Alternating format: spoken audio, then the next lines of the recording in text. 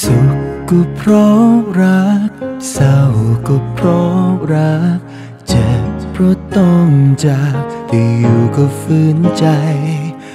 ห่างกันแสนไกล โกรธยิ่งฝังใจ แต่ไม่รู้ทำไม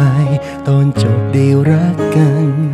เรื่องราวจบลงด้วยดีอยู่ในนิ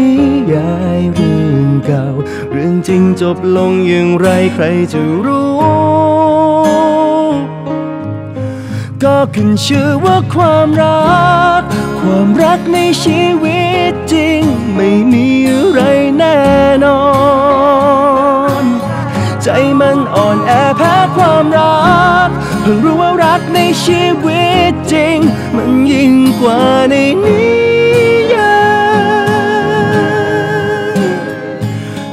จะบอกได้ว่าเราควรหยุดพักหรือไป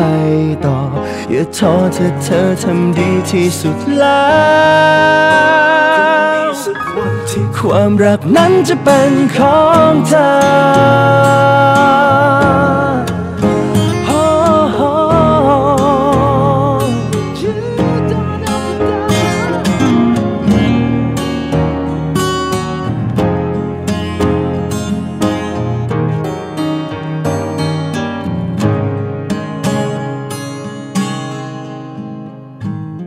เรื่องราวจบลงด้วยดีอยู่ในนิ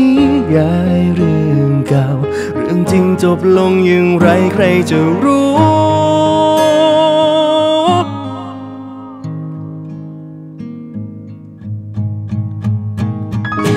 ก็ขึ้นชื่อว่าความรัก ความรักในชีวิตจริง ไม่มีอะไรแน่นอน ใจมัน อ่อนแอแพ้ความรักเพิ่งรู้ว่ารักในชีวิตจริง มันยิ่งกว่าในนิยายใครจะบอกได้ว่าเราควรหยุดพักหรือไปต่อ อย่าท้อเธอเธอทำดีที่สุดแล้วความรักนั้นจะเป็นของเธอ